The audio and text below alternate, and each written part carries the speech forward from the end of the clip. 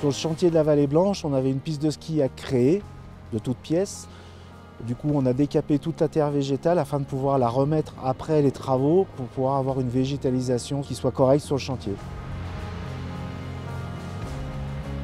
On va dire qu'on décape la partie supérieure, ce qu'on appelle la terre arable, donc à peu près les 20 premiers centimètres, où il y a tout ce qui est biodiversité, racines, système racinaire. Donc on la stocke et on la met en réserve pendant toute la durée du chantier et une fois qu'on aura tout terminé, tout l'ensemble de travaux, on la remettra en place.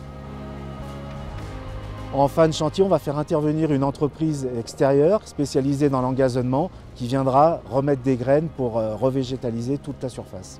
En fait, ils font un mélange dans une cuve avec de l'eau, des engrais, des graines, les différents types de graines qui sont mélangés et qui sont projetés sur le terrain.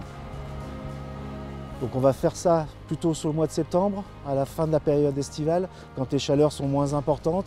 Ça va permettre aux graines de pouvoir germer à l'automne et de redémarrer correctement au printemps. C'est un chantier qui est très moteur et je pense que pour la, satisfaction personnelle et l'enrichissement des entreprises et même des, hommes qui vont travailler, c'est quelque chose qui restera dans nos mémoires à tous.